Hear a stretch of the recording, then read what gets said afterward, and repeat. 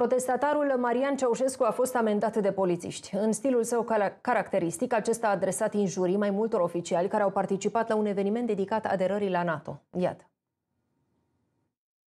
Domnul Ciolacu, luați aici codul bunelor maniere, că ne-ați mințit, ați uitat, a, gunoaielor, sunteți niște gunoaie politice.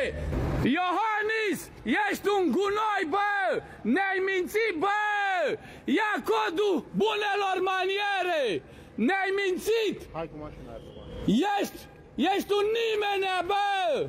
Acum, jandarmii vor să mă ducă la secție. De ce?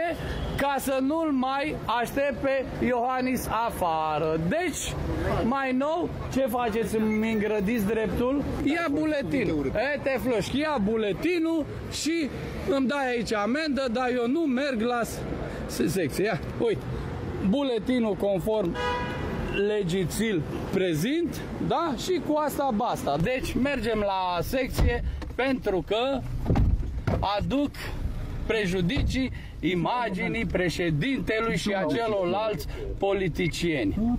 Deranjează. Totul s-a petrecut la evenimentul organizat pentru a aniversa aderarea la NATO. În filmulețele postate de protestatarul Ceaușescu se vede cum acesta a fost ridicat de jandarmi și dus la secția de poliție după ce a adresat expresii jignitoare la adresa mai multor oficiali. Mai exact e vorba despre președintele Claus Iohannis, premierul Marcel Ciolacu și președintelui Senatului Nicolae Ciucă. Ceaușescu a fost dus la secția 3 de poliție pentru a fi sancționat, însă susține că va contesta amenda în instanță.